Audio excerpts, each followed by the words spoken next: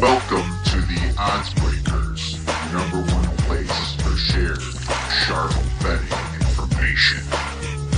Welcome back to podcast 51 of 2021. I'm your host, Kiev O'Neill. You can follow me on Twitter at OBKiev. Follow us at The Odds Breakers and follow us on social media slash The Odds Breakers. This episode is being brought to you by FootballContest.com. To get into the Circa Millions, the Westgate Super Contest, and the William Hill, and any other Vegas contest, make sure you check them out. Ask for Maddie. Tell them the Odds Breakers sent you. You can put your plays in from anywhere in the whole United States or the world. If you'd like to help us out with our costs, sponsor the website, podcast, we'd love to help you out. Please visit theoddsbreakers.com, click shop, and become a member. For $24.99 a month, you can get my plays and premium plays before the line moves. You can also check out our other handicappers there for your specialty sports. And if nothing else, please visit theoddsbreakers.com and become a free picks newsletter subscriber. My friends, we also have made some overdue modifications to the website. Lots of free picks are being put out daily, and maybe you do not want that many emails. So, under free picks, you can now just sign up for individual handicappers that you want the picks from. You can do one or multiple ones rather than just get the blanketed newsletter. Now, what you can do with the blanketed newsletter is you can put it into a special mailbox, put a rule in there through your Gmail, Outlook, or your Yahoo or whatever platform that you use, or you can just send it to spam if you don't want to see any of it. Uh, obviously, you can unsubscribe. But there are better ways now to manage all those emails. So I was glad to be able to put that put that system in before the football season and everything goes crazy. So make sure you do that. We are holding on to our lower rate right now of $24.99 for my plays, and that's going to go up. But we are offering a promotion if you want to lock that in for life. The only thing that'll ever go up is it with the consumer price index, but otherwise you will lock in that low rate as long as you keep your uh, subscription. And we'll also give you a free odds breaker shirt for any sign up with any handicapper over the next month. So make sure you guys check that out. Otherwise, not a big deal. We're always going to have free plays for you at theoddsbreakers.com. If you are an experienced handicapper and like to get your name out there more, and you have some records to show or some material, please visit theoddsbreakers.com and contact us. Maybe there's a spot for you where we can help you. It'd be best to contact us now before it gets crazy with the football season starting. We have a great show for you today because I'm going to go over NFL preseason week one and going to cover almost every game. There's a couple premium plays that I'm just reserving for members. That's how I roll. And we're going to later get D Nasty on and do a little fantasy football. We're going to talk a little bit about rookies, the top ranked rookies for any rookie drafts, or if you just want to know where you rank your rookies when you draft them. Dave's going to come on and discuss that. And we're going to go a little bit deeper into sleepers than we did last week when we covered our top players at each position. So can't wait for that. Before I get into NFL preseason, going to give you my college football record over the last couple years. We are at 52.74%. Seems kind of low, right? But we are actually up 48.3 units over the last few years in college, partly because of the money line sprinkles. We always say sprinkle the money line a little bit, and partly because of the Kelly criterion putting more units on bigger plays. So, just did some of those numbers. NFL only at 51.7% over the last two years, but up a total of 37 units. So, not terrible. Could be better. Had a rough sides game last year, but our totals was 31 for 21. And I'm just looking for my exact number on that 31 21 and 3 just in NFL totals last year. That's about 59% up about 18.5 units. Actually, totals saved me last year. Last year I wasn't good in sides, but I expect that to change and regress back to the mean where I, I'm usually pretty good around about 53, 54% history betting in the NFL. So we're at least looking to do that or better this year. Put a lot of time into NFL and college prep. Hopefully, it all pays off for everybody. All right. Let's get into a little NFL preseason week one. Now, before I get too deep into it, I'm just going to disclose that I value coaching records and motivation in the preseason a lot more than anything else. Lot more than the strength of these teams. A lot of the best teams might be playing their worst players. A lot of the best teams might be playing some pretty good players too. All coaches are different. Now, this year we have a lot of new coaches, but in general, I like to look at the new coaches sometimes wanting to make a little bit more of a splash that very first week, right? They don't want to start on a losing mindset. So they might try a little bit harder. And in many cases, there's another handicapping philosophy in the preseason. A lot of these new coaches might have quarterback controversies. They're not married to any of these quarterbacks unless the GM really, really has one for them. So I definitely look for that. Any team really with the quarterback controversy doesn't necessarily have to be a new coach, right? Obviously, the coach's motivation per week. Sometimes they want to win week one. Sometimes they want to win the middle for some reason. And sometimes they either completely dog it or they're completely good on the final week of preseason. Now, the obvious change this year is that there's only three preseason games. Does that completely throw off the data? I don't think so because there's still a first game and a last game. And the, there's a middle. Weeks two and three are kind of the middle on what happened in the previous years. That's the way I'm going to look at it until proven wrong. Right. So I put emphasize on that, and I'm a little bit more careful about these teams' strengths. For example, if the Buffalo Bills are going to play the Jacksonville Jaguars or the Houston Texans, it's not going to be a 10 point spread or a 13 point spread it's still going to be a very low spread. I mean, for example, the Bills are playing the Lions this Friday, and they're only favored by two. It's in Detroit, but still, you know, I mean, this goes to show you how important it is to look at other factors in the preseason and not strength. The line's telling you this when you look at it. Let's get into it then a little bit. First game we have Thursday night, two games. Washington versus New England is the first one. Now, looking at some of these coaching records, Washington, Ron Rivera, six and three on week one. That's pretty huge, right? He's 20 and 16 in the preseason lifetime. But he's playing another coach that's very motivated week one. And that happens to be Bill Belichick, who's 46 and 36 in the preseason. But on week one, Belichick is 14 and 7. 14 and 7. All right. That's huge. I mean, these coaches are, there's a good chance they're going to put a little effort here. Now, New England's got some backup quarterbacks that's looking to steal that job from good old Cam, obviously, Mac Jones, right? They also have a lot of players that didn't play last year that might be itching to play a little bit in the first quarter. Maybe some of the players think they're not going to make the team. So there's a lot of a lot of motivation on Belichick's side, but same time Fitzmagic's on a new team. They might want to make a little bit of a splash there. Tyler Heinicke and Kyle Allen battling out for second string. I can see some motivation on them. So these co- coaches kind of cancel each other out, and I'm not going to make a play on it. Looking at Pittsburgh versus Philadelphia. Now, this one's interesting to me because Pittsburgh already played a preseason game, right? Last week, beat up the Cowboys. Now they're going on the road. Do they kind of get that win past them? I mean, Mike Tomlin is eight and eight now, very first week, but just in general, 32 and 23. He wins a lot in the next weeks. Being that he played that Hall of Fame game, that completely throws me off of betting him right? Is he going to be motivated to win more preseason games? I don't know. But I do know that the Eagles have a brand new coach in Nick Sirianni, and there's no numbers on him.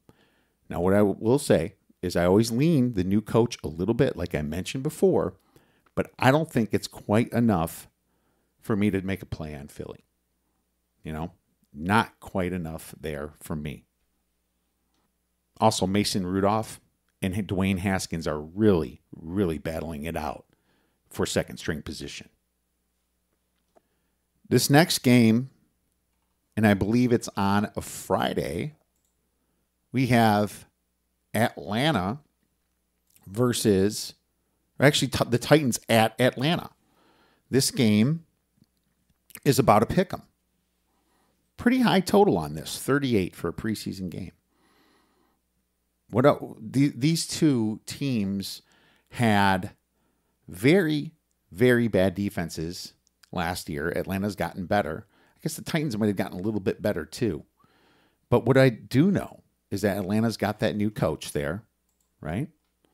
I mean, Arthur Smith has been there and done that, but this is his first year coming into the preseason. So, going to give him a little bit of an edge for that. Number two, Atlanta's at home. Atlanta might want to start out with a bang with the new coach at their home. And number three, Mike Vrabel is two and six in the preseason. Now that's not a big sample size either, and he's actually one and one in week one. But what I do know is that the Titans have a lot of old stars that do not need to play in the preseason. You're not going to see Derrick Henry, right? Probably not going to see much Tannehill minus one drive. Nuts to do that. Probably won't see AJ Brown much. Julio Jones, after that trade, no way they're risking him. So uh, their stars are probably not going to play. And behind Ryan Tannehill, you got Logan Woodside and Matt Barkley. Not a ton of confidence in either one of those, right? AJ McCarron and Felipe Franks are battling it out more for the Falcons at home. So because of Vrabel's record, because of the situation in Atlanta, I am going to make a play here on Atlanta. I think it's worth a couple stars just based on Arthur Smith getting a good start. We're going to throw a couple couple units on Atlanta. Thank you, sir. May I have another? Thank you, sir. May I have another? Thank you, sir. May I have another? Next game, Miami versus Chicago. Miami is plus three, plus three and a half at some books. It looks like Chicago's creeping up. Total is 35 and a half. This one was a little head scratcher for me. We don't have quite enough data. I don't like one season. If you remember the podcast that I talked about these coaching records, I said I like, like to at least have two seasons worth of preseason data to make any educated decision here. Somewhat educated. Brian Flores is three and one in the preseason. Obviously, his first week was one and zero, so could be some motivation there. Now the Bears are a mess. There's a little bit of quarterback controversy, but is Dalton and Fields really going to be battling it out the first week? The Bears are 0 and 3 week one for Nagy. So I do have data on that. But this line is really making me scratch my head, and I can't figure out why the Bears are actually uh, favored by three and a half points here at home. Because, in my opinion, the Dolphins still have a lot of stuff to figure out. And Jacoby Brissett's there, and he can definitely score a few points. So I'm going to possibly take a little bit deeper of a look at it right now. But I'm going to tell you right now that I'm definitely leaning Miami here, uh, plus the points. Next game Cleveland versus Jacksonville. Jacksonville, brand new coach with Urban Meyer.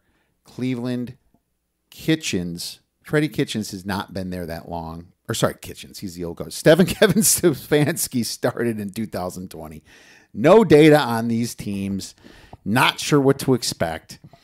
I, I know Urban Meyer is a motivated dude. A little bit got maybe a little bit of Harbaugh in him. so uh, I think that I would lean Jacksonville, but to be honest with you, with these two teams, literally nothing would surprise me. Next game, is Denver versus Minnesota, and we actually have a premium play on this. And there was some disagreement with me on this one, but uh, just from some respected podcasts, but I think they're missing something that's pretty important. So I have to pass on this game, but it was a play that we did make about a week week or two ago. Now, New Orleans versus Baltimore, we shared this play already. This was a free play that we gave out a couple weeks back. Of course, we're betting Baltimore, right? And we got it at minus two and a half. Now, Baltimore is all the way up to eh, it's about the same. It's minus 125. I think we got minus one. I think it was about the same. It's kind of bouncing back and forth. Some people are betting uh, New Orleans. I don't I don't know, maybe because of the quarterback issue, but you can't discount the fact that Harbaugh is 12 and 1 on week 1 in the preseason, right? 12 and 1. 37 and 12 in preseason, second best record around for preseason football. I mean, that's almost an auto bet. We gave that out a couple weeks ago. We're still going to play that one, obviously. Next game, we have New York versus New York. And this is another one of those games where you have coaches that haven't played in the preseason. Joe Judge, first year last year. Robert Saleh, first year this year. Nothing would surprise me here. Slightly to the Jets at home. Probably going to try to start their season out with a bang here, right? Probably. Next game Houston versus Green Bay. And Green Bay, lots of controversy around what happened with Rodgers, right? And now everyone's not sure about Love. Well, I'll tell you right now if Love has Twitter and if he's looking at Twitter, Jordan Love, that is, right? Backup quarterback, he's probably going to give this one hell of a ride. but the problem is, it's minus three. I mean, the Packers are favored by a full field goal here at home against a new coach Texans team. For all that I just said, it is completely a stay away game for me. It does have a pretty low total of 33 and a half though. So I'll lean to the over on that one. Next game, the Kansas City Chiefs versus the San Francisco 49ers. And we have a premium play on this game, so we will pass on this one. Now, the next game is Seattle Seahawks versus the Las Vegas Raiders. All right. Now, we do have another play on this one. Looking at this situation, you have two coaches that actually win 25 and 15 for Pete Carroll, and good old Jon Gruden, 37 and 17, 69%. So, massive record for both of these coaches, really. Pete Carroll at 63%, Jon Gruden at 69%. But the thing that I'm looking at right here, the Raiders at home, new stadium, going to have some crowd at this game, right? And I'm also looking at the fact that you can't deny Jon Gruden is 10 and 0 the very first week. 10 and 0. So hot right now. You know, that brings me to Pete Carroll. Obviously, still a great record. He's 9 and 3 week one. I could see both coaches still kind of trying to win this first game a little bit. But the biggest thing that I'm looking at here is the backup quarterback. You have Marcus Mariota that thinks he should be the starter in New in Las Vegas. And then you have Geno Smith backing up Russell Wilson in Seattle. And I'm sorry, Geno Smith is not an NFL quarterback. I feel a lot more confident with the Raiders at home here than I do the Seattle Seahawks. Plus, the Raiders are going to play their offensive line a little bit low, longer because they have a lot of guys coming in to the offensive line as brand new starters, in my opinion. So that's the angle I'm going with the Raiders for about a star and a half. Now, the next game, the LA Chargers versus the LA Rams. Three and a half point spread for the Chargers. Obviously, they're both playing where they play in Los Angeles, the new SoFi Stadium there. Three and a half point spread. Now, new coach, obviously, for the Chargers. And I really like Brandon Staley. He's going to be fantastic. But the question is, what's McVay going to do? And McVay, eh, one and two the first week. Pretty even record, six and six in the preseason. Not a ton of information, but the spread's a little bit too high for me to make a bet on Brandon Staley here. Not at three and a half. Have to pass that one. And the final game, we're going to bring up Carolina versus Indianapolis. Frank Reich is four and four in the preseason. Matt Rhule obviously didn't get to coach in the preseason last year, so we don't have enough information on that. Because of this, definite pass for me. Plus, there's a big quarterback issue going on in Indianapolis, so you might get see some more motivation from Jacob Eason there, who's got a year in, and Sam Ehlinger that was just late drafted. There's also Brent Hundley there.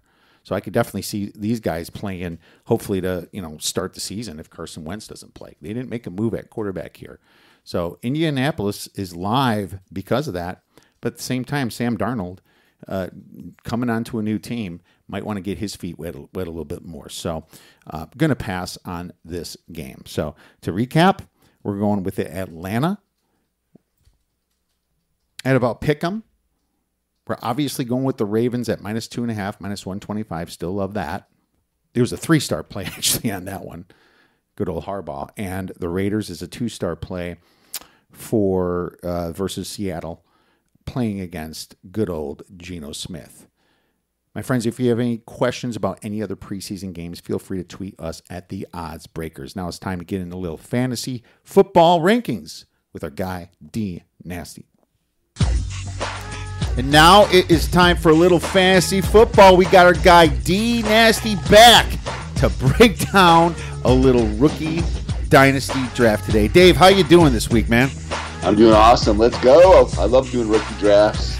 I know. I know it's it's fun, especially when you're in dynasty leagues. You know, the rookies are key. They're the future, and it's fun to see where these kind of they, fall in some of these drafts. Obviously, we, me and you have already done some, so we have a good idea of how good these rookies are and where they should be ranked. But you know, we both have our own little system, and so it's going to be fun to go over. And you know, if you don't do dynasty leagues, this could still be relevant to your real draft because you know where are these guys going to kind of sit? And you know we'll mention that a little bit as well. But um i think what we're going to do then dave we'll we'll do five a piece i'll do five you do five you know and we'll just get to like 30 picks or so. We don't need to get into defense unless there's someone that you really like in defense coming because like we said the last couple years it, you shouldn't even start getting defense until uh third or fourth round right Exactly. Yes, definitely. I, I probably third or fourth. Yeah, I'd say even after that, maybe you want to even go there because there's still in third round. There's still some good players even in the third and fourth round still. Right, and there's middle linebackers that are late drafted that just become stars anyway. It's not, it's not always like that very first guy, you know. So, um, defense players a lot easier to come by and they, they don't have as much upside as offensive players. So that's the reason. But we'll do that. And then we're going to go over our actual sleepers per position. I know we touched on them last week for running backs, wide receivers, quarterbacks, tight ends. But, but I added a few more, and I'll let you know if it's a draftable sleeper or something, someone you just kind of want to keep your eye on. Because after every draft, you have something in your mind that could happen, right? So you might want to keep your eye on some of these teams. So we'll go over that as well. All right, then, my man. Let's, without further ado, let's get right into these dynasty rankings. So I'm going to go over my first five, and my number one guy is Najee Harris, and I think that's going to be in most boards. I think Najee's got the most upside for Pittsburgh. I just don't see Snell or anybody else uh, taking any too many touches from him. The, the way he was drafted, he is poised to take over a large percentage of those snaps. And if you remember, Le'Veon Bell and uh, Conner and a few other guys always had success running for Pittsburgh. So Najee Harris, number one. number two, Travis Etienne. There's a reason that Jacksonville went up for him. They wanted to put him with Trevor Lawrence. They grew up well together at Clemson. They're hoping this is going to be a huge one two punch for the future. Sorry to all you Robinson owners out there. Number three, believe it or not, I have Ja'Marr Chase. Ja'Marr Chase has grown on me more and more. I just think that he his attitude, his friendship with Burrow, his speed, uh, his his football knowledge was fantastic with the LSU. And I know he sat out last year, but I don't think that matters. That's just less wear and tear on his body. I have number three, Ja'Marr Chase. Number four, Dave, I have Kyle Pitts. And Kyle Pitts is going to be a tight end that's going to get you a ton of points over the next 10 or 15 years, in my opinion. He is extremely hyped. I know that. But there's a reason that Atlanta traded Julio Jones, and it's because they wanted Kyle Pitts to take over, and they're going to get him on a cheap rookie contract over the next four years or so. And uh, that's important to teams. So they invested in him. I'm sure he's going to catch a lot. He was an absolute beast at Florida. Number five, Javonte Williams from Denver. I believe that Javonte Williams is going to unseat Melvin Gordon. If not this year, it's going to be next year. Dave, who are your five? Uh, similar five, but in, in, a little bit different order. And I do have to stress too that this is in a one quarterback league. If you're in a two quarterback league, I, I know like some of my dynasty leagues, you're definitely going to want to move all the quarterbacks up to the top five as well. But if you're only in a one quarterback league, this is definitely the way you want to go. Is how Kiev and I are ranking these guys right now. So number one, I had Najee Harris as well. Uh, he could be the next Le'Veon Bell or James Conner. Well, not, let's not say the James Conner because he was always hurt, but he could be the next Le'Veon Bell. he is. And then uh, number two, Ja'Marr Chase. Uh, Joe Burrow loved throwing to Chase in college. You know, he'll love throwing to, get to him again in Cincinnati uh, as long as his knee holds up. Uh, there's still some concerns with Burrow on his knee. Uh, he's been a little timid so far in practices, but I think once the regular season rolls around, he'll be fine. Uh, number three, Kyle Pitts. Uh, like Kiev was saying, definitely a once in a generational kind of talent. Uh, he's, he was just awesome at Miami. Uh, with Julio gone, it's going to open up a ton of targets for him as well. Matt Ryan loves to throw the ball too. So uh, number three, actually Pitts has been going number one or two in some of my drafts even. So uh, Pitts at number three. Doesn't uh, Pitts remind you like of Vernon Davis coming in? That kind of hype. Yeah, definitely does. Maybe even a little bit more right? Exactly. So he could be boom or bust. Hopefully he's a boom, but uh, he could be a bust though too. You never know. He could come with all this hype and then not even pan, not up, end up panning up, just like Hayden Hurst last year. Everyone thought Hayden Hurst was going to be the best sleeper of the draft, and then he ended up sucking the whole year, and he just yeah. was average all year. True. He didn't really suck, but he was average. But number four, Travis Etienne. Etienne. Etienne. yeah. Uh, he enters a crowded backfield, but I, I look for him to take over from James Robinson. They'll share to start with, but I, I definitely like him going forward. Uh, they're, they're, they're making a lot of trick plays for him as well, and they're, they're actually drawing up plays for him to be, line up as a wide receiver. So I definitely could see him taking over. If not start out, he'll be definitely seeing a lot of catches in, in PPR leagues as well. Uh, and then number five, Javonte Williams. Uh, for a lot of the same reasons Kiev started, stated as well. Uh, I do like him to take over midway through the year for Melvin Gordon. Uh, he's definitely their back of their future there. Good stuff, man. I totally agree. Why don't you go through your six through ten? Sounds good. Number six one of my sleeper picks that I really like as a rookie. Is Michael Carter. Uh, the Jets were smart to draft him. Uh, he's very explosive. Uh, they really, doesn't really have many challengers either. Tevin Coleman and Ty Johnson are not going to beat him out. Or Michael Perine from last year. I don't see any of them really claiming the role as the number one back there. I think uh, Michael Carter will actually start out as the number one back there. And if he doesn't, he'll be the number one back after a few games as well. Uh, then number seven, I have Trey Sermon. Uh, I do like him. I think he could actually take over from Raheem Mostert uh, halfway through the year, uh, if not sooner. Uh, he's very athletic. They like what he's they've seen in camp so far. And Jeff Wilson Jr. is also hurt as well. He, he won't be back until mid-year, so or at least six games. He's on the PUP. So and and Tevin Coleman's gone. So definitely opens up some opportunities for him. Uh, number eight, Trevor Lawrence, definitely the best quarterback in the draft. Uh, if you need a quarterback, definitely take him. He's going to be definitely he'd be like a Peyton Manning type like year for him. Uh, he does actually actually have quite a few weapons with the Jags as well, so I like him at eight. Uh, Trey Lance at nine. Uh, he's kind of a sleeper too, but he could be kind of like a Pat Mahomes. He might end up sitting the whole year, so he could be like a very big boomer bust. Uh, not anything like a Pitts. Pitts is pretty safe bet that he's going to get a lot of receptions, but Trey Lance, we don't know if he's going to start or not. Uh, Shanahan keeps saying Jimmy is his guy there. Uh, but they do have some plays designed for him. He could be of like a Jalen Hurts last year, where he'll come in, run a few plays. Uh, if Jimmy struggles halfway through the year or, or midway through the year, uh, he definitely could see him coming coming in and taking over. Uh, number ten, uh, this is a kind of a toss up between him and the next person I have, but I have number ten, Javon, DeVonta Smith. Uh, Eagles are very thin at wide receiver right now. They don't really have much competition either there. Uh, Jalen Reagor hopefully can come back this year and have a strong season, uh, but look, look for him to line up opposite him.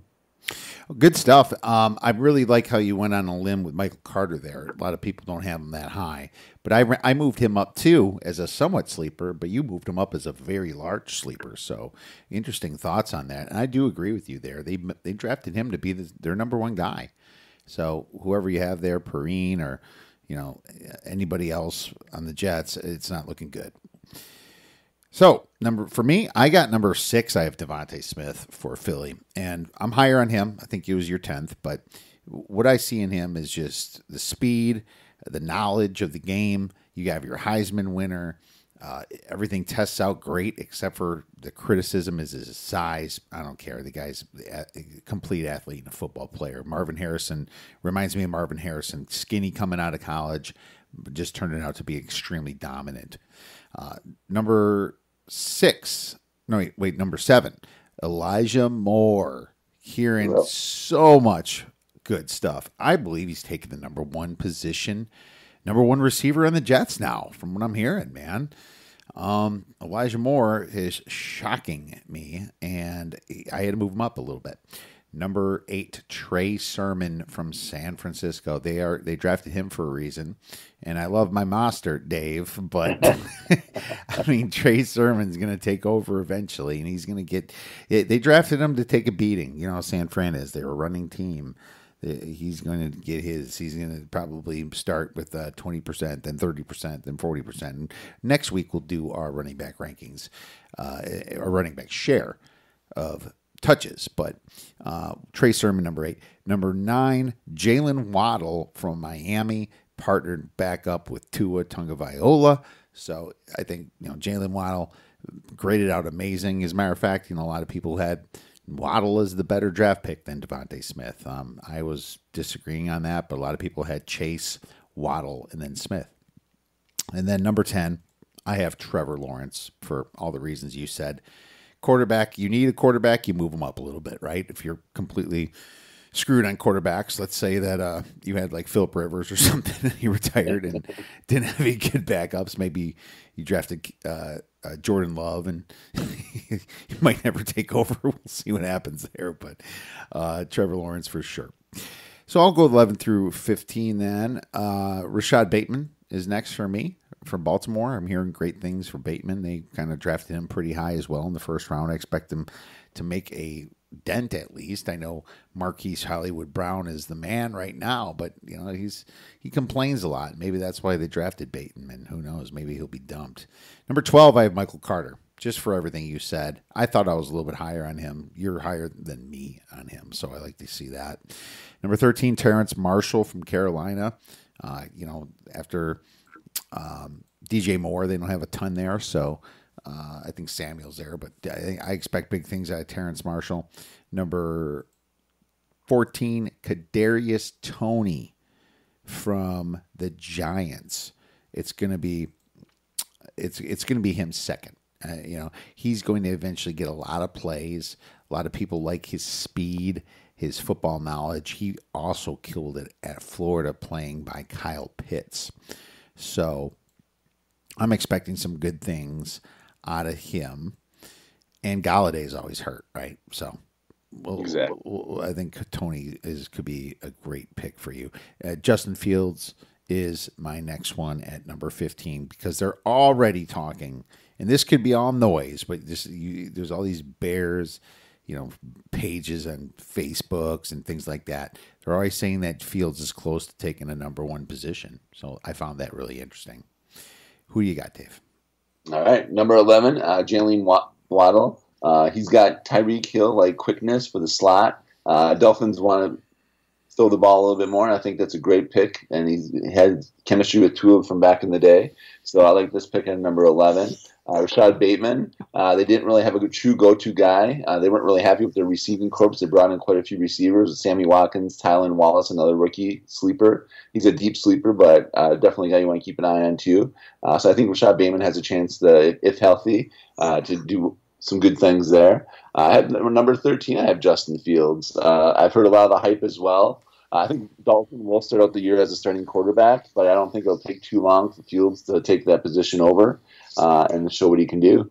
Uh, number 14, Elijah Moore. Uh, same, a lot of the same reasons that you said, Kiev. Uh, he's been looking really good in practice. They, he's really been impressing the coaches. I've had no, nothing but good ca- things coming from their camp. Uh, so I like him at 14. Uh, number 15, Kenneth Gainwell. Guy I talked about on the last podcast as well. Uh, he's a plug and play backup for Miles Sanders. he's very undervalued right now. He could displace Boston Scott. Uh, Johnson's there which is not no one that he needs to really beat out. Kerryon Johnson will probably end up getting cut. So the only competition he really has is Boston Scott. So definitely like him as a handcuff for Miles Sanders. All right, no, good stuff. And uh, yeah, I, I was looking at him a little bit more too. Why don't you go 16 through 20? Sounds good. 16, I have Zach Wilson, another Jet. Uh, Wilson, like Lawrence, is guaranteed to have a starting job. So if you need a starting quarterback, and if you're looking for a quarterback, uh, he's going to have some weapons too as well. He's nice young running back in Carter and Elijah Moore too. Uh, and they actually they have Crowder there, and they brought over Keelan Cole and Denzel Mims, who's been definitely dropping like a bomb on the depth chart. So stay away from him. But uh, they definitely have some talent there to, from the throw too. Uh, 17, Rondale Moore. I like him. Uh, they said he's really explosive. He's a little undersized, kind of like a DeVonta Smith, uh, but he's really explosive. Uh, he could be a great addition there too as well, opposite DeAndre Hopkins and and Christian Kirk. I think they're definitely going to find ways to get him the ball as well. Uh, number 18, Amon Ra St. Brown. Uh, Lions don't really have anybody after they lost Golladay. Uh, their starting wide receivers right now are Breshad Perriman, Tyrell Williams, and then uh, Quintez Cephus. So there's not many people that you have to really beat out. There's not really high quality players that you have to beat out in those three. So I definitely look for him to have a large share of targets this year, um, possibly be the number one by mid to late year. Uh, then number 19, Chuba Hubbard.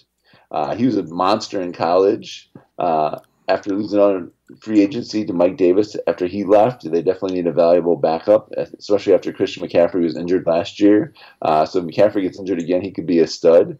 Uh, and then 20, uh, receiver really like. He's definitely been doing well in camp as well. Nico Collins, uh, a guy I've been going after in a lot of my leagues as well. Uh, they lost a lot of the receivers. Randall Cobb came back to Green Bay because of Rodgers, blah. Uh, and then uh, he's actually one of the only receivers left. Him and Cooks are going to probably be the starting wide receivers there. It just depends on who's going to be throwing to him. So that's a real question mark right now. Yeah, yeah, they um, lost a few guys there for sure. I mean, how stupid was that DeAndre Hopkins? We don't need to talk about that, but exactly. Uh, yeah, Fuller went to Miami, and yeah, Nico Collins is uh, just because of that has been moved up in many depth charts. No, I like what you had to say. I got some of the same guys there. Number sixteen, I got Zach Wilson for all the reasons he's going to be the starter, right? And I, I don't have a ton of trust in him holding up, but we'll see. And number seventeen, I do have Trey Lance. I think. Uh, I think Kyle Shanahan's full of shit. And uh, they went out drafted for a reason. This is just like that situation you saw last year with, uh, you know, they, uh, not not the uh, Bengals, but Miami. They tried to force Tua in. Now Tua wasn't so great, but they're they're gonna they're they're planning on getting rid of Garoppolo, and they, they don't want him to shine. It's gonna be Trey Lance. You know, they don't want to look bad. You know. The only thing about Trey Lance though is I don't like is that he's only played like eleven or twelve games at the college level. He doesn't really have that much experience. Super uber athletic, but we'll see. I don't know if he's going to have the mental makeup to be a starting quarterback right away. So I definitely think having a year on the bench would be beneficial for him.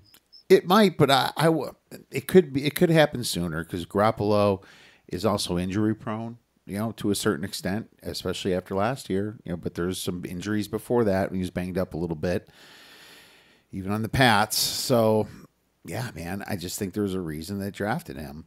And uh, you saw with Jalen Hurts last year, they got rid of Wentz. Actually. You know, but of course, Hurts wasn't even drafted that high. You know, they, they're hyping him up. And, what's that? Second round. Yeah, second. It was either the end of the first or the second. But Lance was what the second pick of the draft. You know, Yeah. I mean that's that's a difference here. Number eighteen, I have Rondale Moore, and for no no more Fitzgerald. Fitzgerald's a free agent, and you have Christian Kirk there. But uh, you know, Rondale Moore is going to get some gadget plays. He might get some end arounds.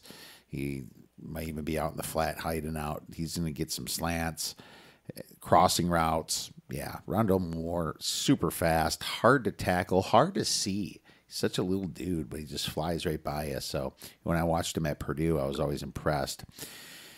Number 19, I have Tutu Atwell for the Rams.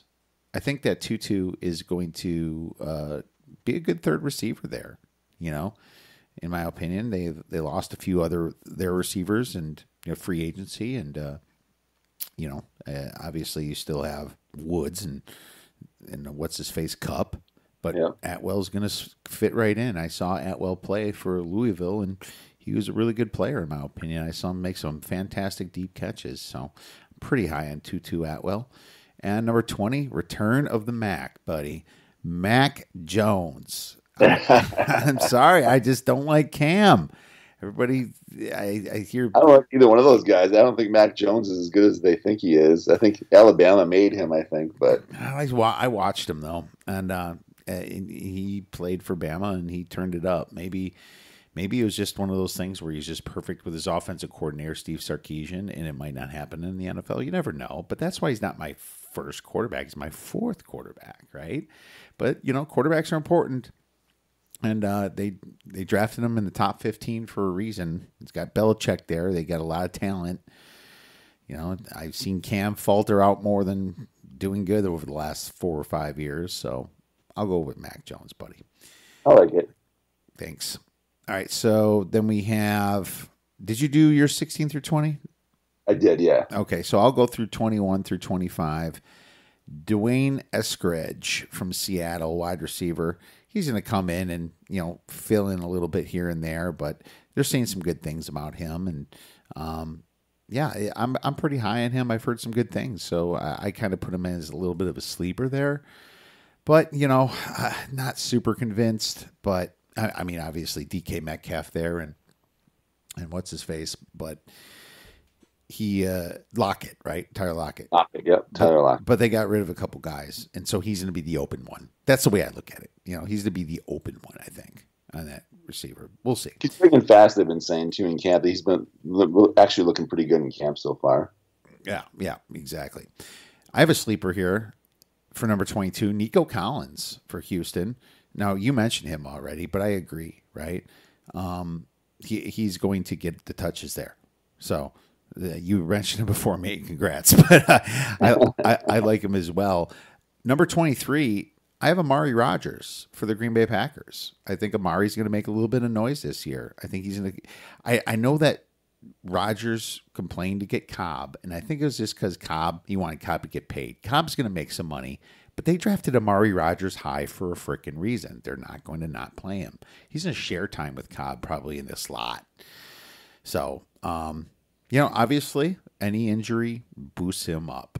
So I like Amari Rogers. Number twenty four, I have Chuba Hubbard, which was somewhat of a sleeper. You and everyone's saying, well, CMC is going to get everything, but like I said in our podcast last week, Dave, CMC is injury prone now. They're not going to use him quite as much. They don't want to burn him out.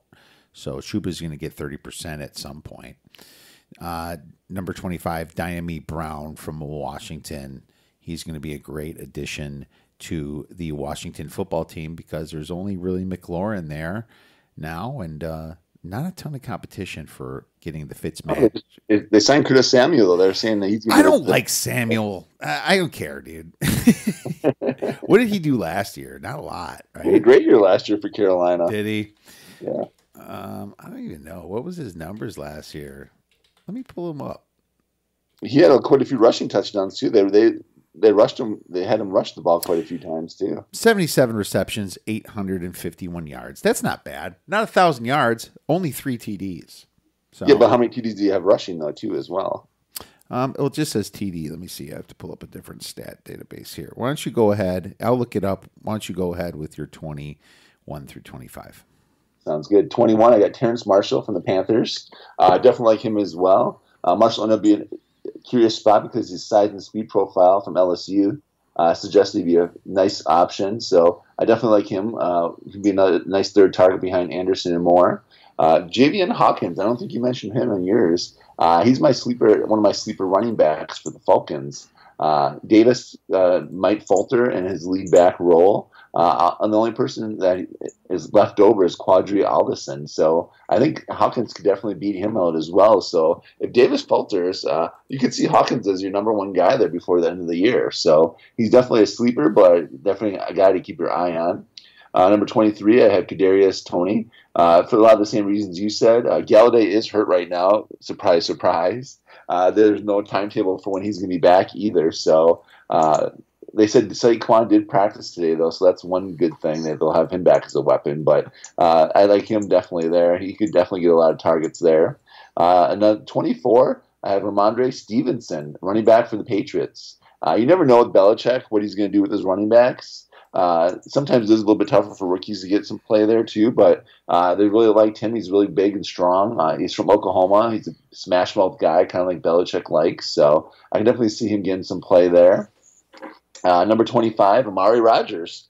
Uh, like you said, uh, they brought back Randall Cobb, and surprise, surprise, Randall Cobb was a mentor to Amari Rogers while he was in college. And his dad actually coached Amari Rogers. So a lot of connections there with Amari Rogers and Cobb. So having Cobb back in Green Bay, I think, is only going to help Rogers even more. Uh, so I definitely like him going forward. And like you said, he's only injury away from having a big role on the Packers. Rogers to Rogers. Exactly. Roger that. Amari. one's a diva and one's a rookie. Exactly.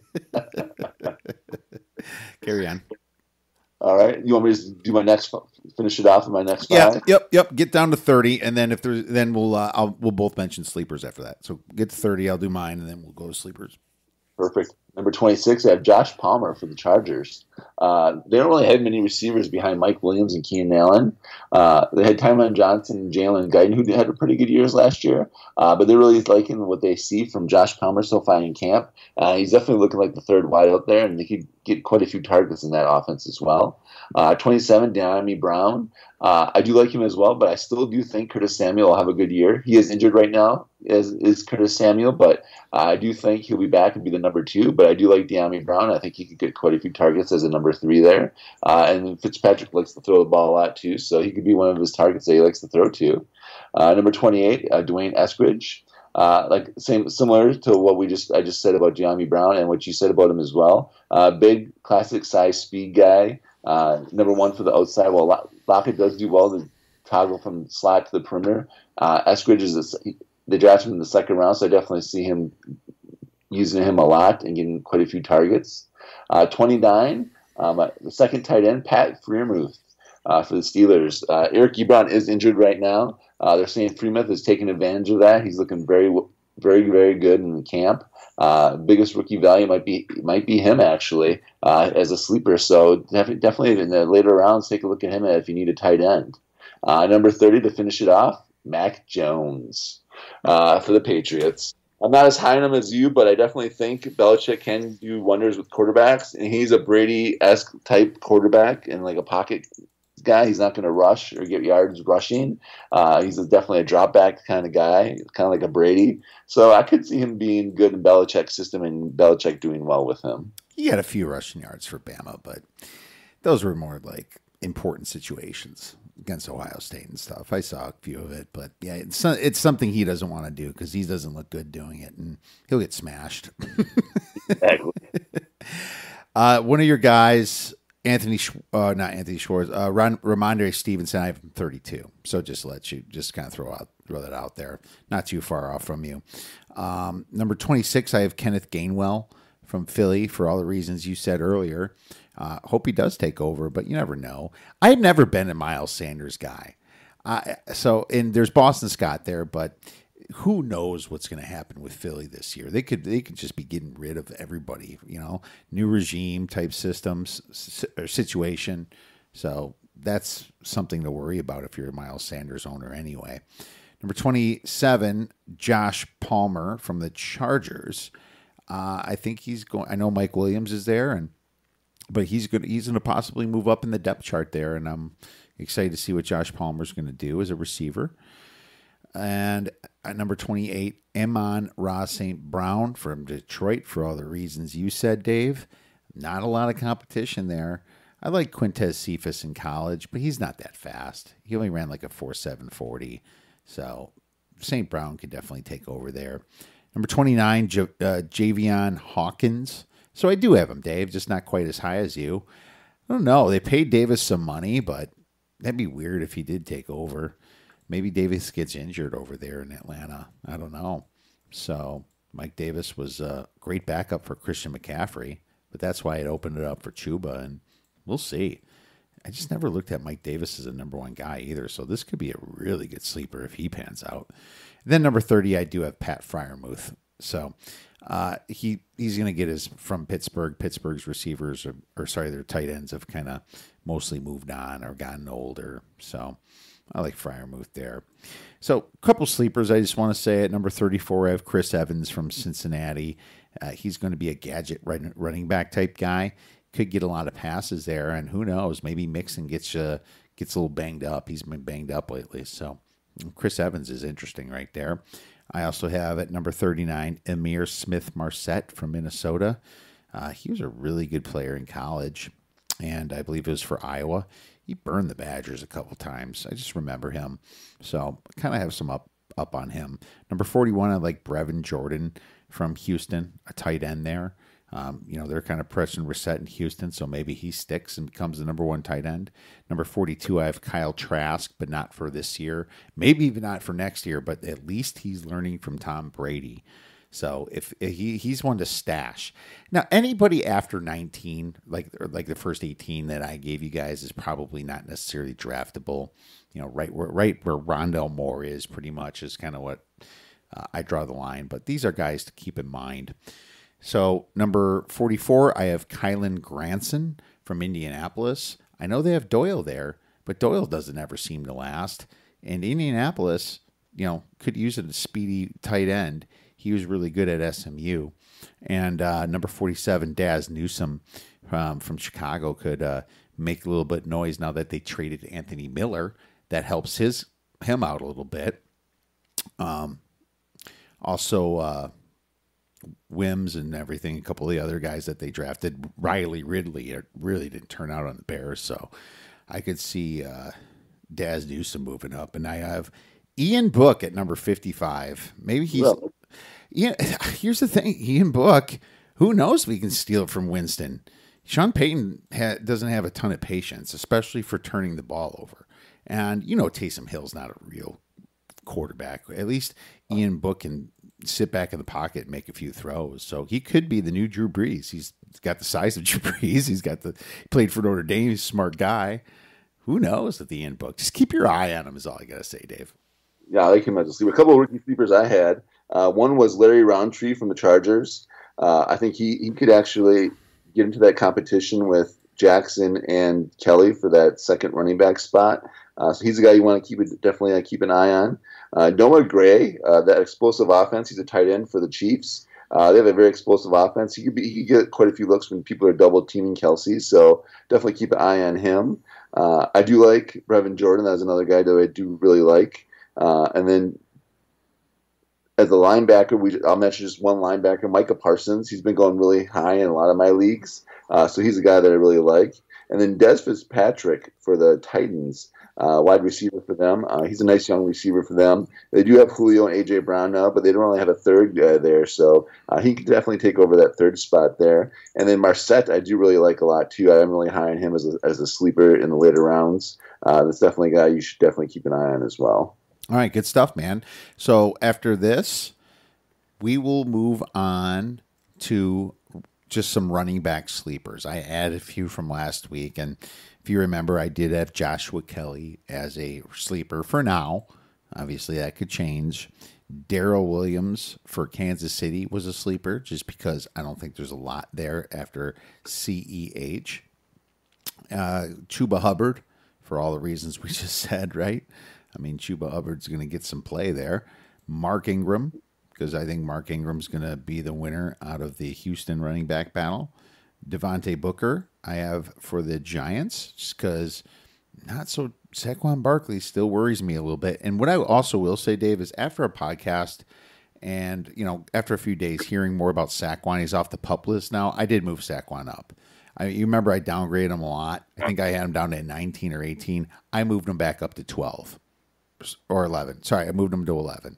So I do agree with that. I'm still not as high as you. And I did got downgrade Jonathan Taylor after uh, Nelson, their guard, also just got their that injury. He was kind of the, the leader of that offensive line, Quenton Nelson.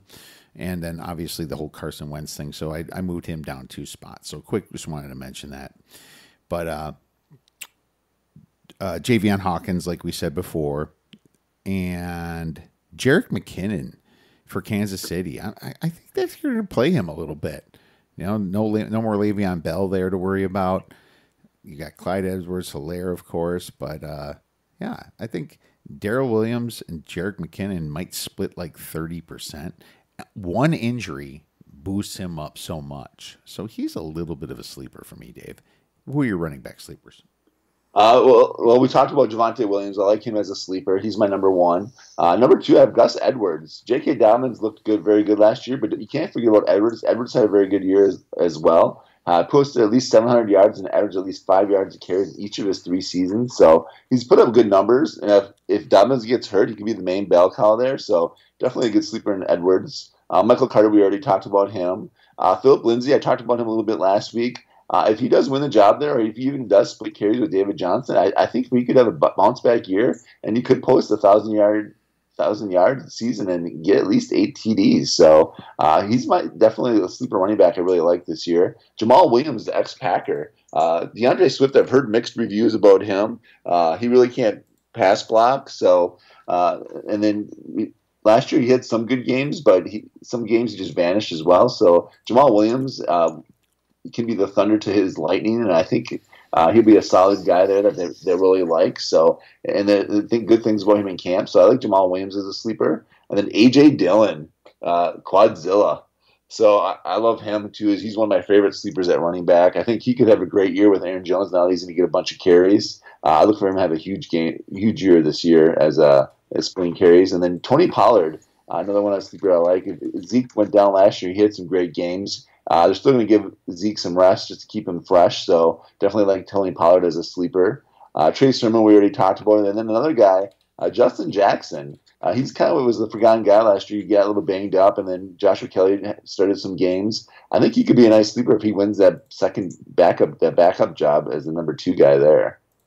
And then, and then my last sleeper here, Jake Funk or Xavier Williams for the Rams. Uh, Darrell Henderson had trouble staying healthy last year, so one of these rookie, the young guys, could step up and take over a, a, a large chunk of carries. Dylan, Dylan.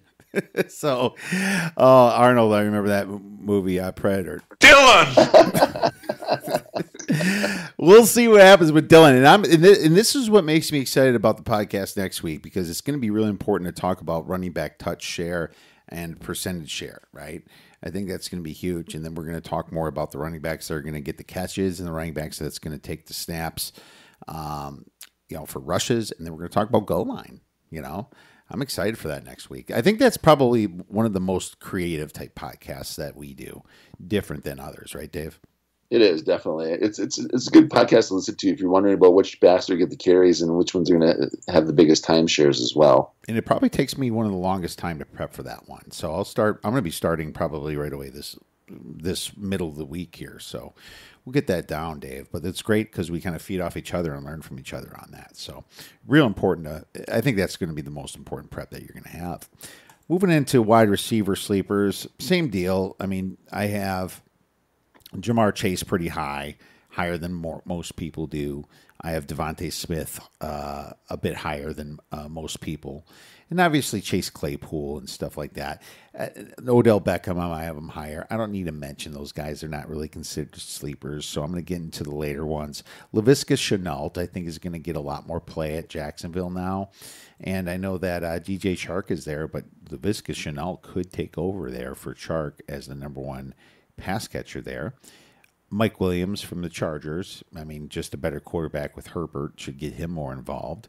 Henry Ruggs for the Raiders. I think people forget about Ruggs. Can't forget about Ruggs. and uh, Elijah Moore, of course, for everything we just said. Darnell Mooney from the Bears. I think that Mooney can have a really big year with Justin Fields there. And he was he just seemed like the best receiver last year. I know A Rob uh, Robinson there is a contract year, and he likes to complain a little bit. But I wonder if uh, Darnell Mooney gets a lot of play because of that. You know, that's interesting to me. Uh, Emmanuel Sanders, he's still Emmanuel Sanders, and he's going to be the number two receiver from one of the most richest guys in football, Josh Allen. well, I, I read that he makes a dollar and sixty cents a second after that wow. contract dollar sixty cents. The, the, the headline said it's not even worth him to pick up dollars on the ground.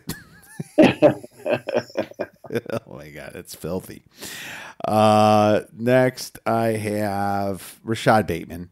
You know, for some of the same reasons that we said, I think Bateman's could be a, a really good, really good receiver out in Baltimore. So, really excited for him. Who are your uh, receivers, David?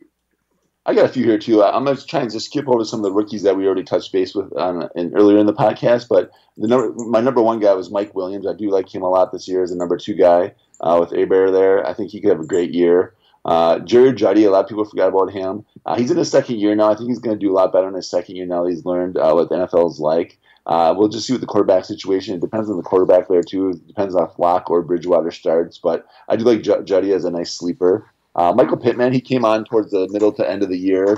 Uh, I think Hilton is kind of like on his last legs there. Uh, it depends if Parris Campbell can stay healthy too. He hasn't in the past, so I think Pittman could be have a large chunk of sh- targets there. Uh, depends on who's throwing to though him as well though. But I think he could be the number one guy there definitely. Uh, Gabriel Davis for the Bills. He actually had a good year too as the, as the third wide out there. I think he's going to get a lot of looks this year too. Josh Allen likes to throw the ball. Uh, he, Josh Allen's played awesome last year, MVP level type. Uh, and Gabriel Davis, I think he's a nice sleeper. Uh, I like Bryan Edwards instead of Henry Ruggs. Uh, Bryan Edwards, they say, is going to be a starter. Uh, he's been running with the number one offense so far the, first couple weeks of camp. Uh, they say that the rave reviews about Bryan Edwards. Uh, Ruggs could be a sleeper down the road, but I, I definitely like Edwards more. he's not the speed guy like Ruggs, but I, I, definitely think he could be more of a possession guy. I do like Jakobi Meyers. Uh, they don't really have many pass catchers there with Edelman retiring. Uh, whoever's throwing to him, Mac Jones or your boy uh, Cam Newton, I, I, think one of those two. my boy, my boy, yeah. Jakobi Meyers, I think, could be have a good year there. I do like Laviska Shenault Jr. for the Jaguars, like you did, and then definitely a deep sleeper here is going to be the two receivers for the Saints, Tre'Quan Smith and Marquez Callaway. I think with Michael Thomas out, I think one of those guys steps up. I think one of those guys has a huge year uh, with Michael Thomas out. Yeah, what a great point. Didn't even really mention Tre'Quan Smith. I just, I, I, guess the whole Saints quarterback thing always scares me away, but I, I feel like it's going to be Tre'Quan Smith, right? Who's the other guy? Callaway. Marquez Callaway, they said actually that he's been play, playing with the number ones right now because Smith is injured, so he's been taking advantage of him being out. So we'll see. I think it's gonna be close between both of those guys. Man, that's interesting because he's like a super sleeper if it's Callaway. So good stuff there, man. All right, let's go to quarterbacks real quick. Not much to talk about, really. I mean, obviously, I'm higher on Matt Ryan than the market. I'm higher than Russell Wilson on Russell Wilson than the market for some reason because I have him like right by Kyler Murray, right before even before Lamar Jackson. Nothing. There's nothing really that's a sleeper to me because you have really great numbers on these guys and the expectations are pretty close to where they're supposed to be this year for quarterbacks, right? I mean, I'm gonna I'm gonna say that Big Ben is gonna be a little bit more value just because of all his weapons there he has to throw to, right? So I have him like right next to Cousins, right next to Dak. So in my opinion, Big Ben, I guess Dak would be my somewhat of a bust, but maybe I could be wrong. You never know. And then obviously the the big four rookies: Justin Fields, Trey Lance, Zach Wilson, and Mac Jones. I mean, it's really that simple. You know, and the, at the end of the day, quarterbacks are pretty set, aren't they, Dave? Yeah, definitely. I agree. So my sleeper, I think I like Tua. I like Tua actually for the Dolphins. I think he was thrown into a bad situation kind of last year. He wasn't fully healthy either. I don't think. I think after a, year, a full training camp, uh, coming in being the starting quarterback to start off, he's fully healthy now. I think Tua could have a huge year. He's my definitely my number one sleeper. Uh, Baker Mayfield. Uh, he had a good year last year. I think he, he could be a, definitely a sleeper too, per se. Like you said, most of them are already set and locked in for the quarterbacks, but I think Baker could have a good year. Uh, he's definitely got the weapons. Daniel Jones might be kind of a surprise, but I think they've added some weapons on offense with Saquon back. I think Daniel Jones, I think, could take the next step. Uh, he could kind of surprise some people this year. And this could be a shocker for you, Kia, but I like Jameis Winston or Taysom Hill, whoever starts for the Saints. We don't know who's going to start. I think it's going to be Taysom Hill, to tell you the truth. But I think whoever starts there could actually have a lot of fantasy value. Uh, he'll get more fantasy value with the rushing yards and rushing TDs, and Winston through the air with passing yards. But he'll have throw, definitely throw a lot of picks still. Uh, and then the, my last guy is going to be Drew Lock. Uh, a lot of people were down on him last year. Uh, they think Bridgewater could still do the job for him. I think he wins the job and has a good year, though. Yeah, I can't move them past Jared Goff even until I know what's going on there. Same with Jameis. I will move them up. I just don't know yet. You know, Exactly. so that's what it is. But what I will say is, if Jameis Winston's playing for New Orleans, he's going to be a plug and play guy on certain weeks. If he kind of a weak quarterback, Right. Let, let's just say you did draft a Zach Wilson or a Trevor Lawrence, and Lawrence was just on Jacksonville. He's sucking this year. You never, you know, you might want to like put in a Jameis Winston who's playing like, uh, like like say he's playing the Titans or the the Lions or something like that, right? You, that's when you want to play him because he's going to be great against really weak defenses. Get you know four or five hundred yards. So Uh, don't forget what he did like for two, three years ago for Tampa Bay. He put up some huge numbers. Even though he threw a lot of picks, he still put up some huge numbers for them still. Yeah, yeah, exactly. So he's going to be kind of plug in when needed. So I agree with you. Just don't know yet. I can't move him ahead of Jared Goff until I know that. Let's move on to tight ends to end it off here. Um, my sleepers are Austin Hooper for Cleveland. I think he's finally going to uh, break out a little bit like he did for Atlanta a couple years ago. Anthony Firkser for sure. I think he's taken over in t- uh, Tennessee, and they're going to use him. Jonnu Smith got all the love last year, so we'll see what happens with Firkser. I like him. Irv Smith for Minnesota uh, is going to be, you know, I think I have him ranked number 14. Jared Cook, I have number 15. Um, so he's kind of a sleeper. A- another one is Gerald Everett from Seattle. I think there's a reason that they signed him. He Yeah, was- like yeah, I, th- I think he's going to be have a little bit of value there. You know, I I mean between him and Gronk, I don't know, man. Gronk kind of seems to take the whole year off until the playoffs these days, man. I don't know how much I can trust Gronk to be honest with you. His name just gets him drafted, right? But he doesn't care. He's going. he- He's going to uh, shake his fist in Vegas. You know, up in uh, he's at the clubs, so there's no reason for him to uh, you know do great and risk his body until the playoffs. That's kind of the mentality of him lately, in my opinion. So Chris Herndon, I think, might get some passes now. I've been waiting for a while for him to. they say he might lose his job actually to Robert Griffin or Tyler Kroft now is what they're saying. I don't know. I, well, maybe, maybe I don't know. I, I I didn't. I have him at twenty six, so he's not drafting. I'm not drafting him. So this would be like a much farther sleeper here. So I I just mentioned him because maybe now with Zach Wilson he can actually blow up, and I have a guy to keep your keep your eye on, and it's Kylen Granson from Indianapolis. I think that, like I said before, he's going to get more play than people think um, and be a little bit of a sleeper there at, at tight end. I think that he's going to take over eventually for Doyle, um, at least from the pass catches. Now, I do want a better quarterback play there, so I'm, I'm concerned there, but just someone to keep your eye on. And I forgot to mention that Dawson Knox for Buffalo has gotten a lot of play last year at tight end the second half of the season. He was one of the leading tight ends from like game, I think it was like game 10 on. I'll, I'll look up that stat, Dave. So um, that's my last one. All right, great. Uh, number one, I had Irv Smith, just for a lot of the reasons we talked about. He's definitely going to be the starter there and the main guy at tight end for them.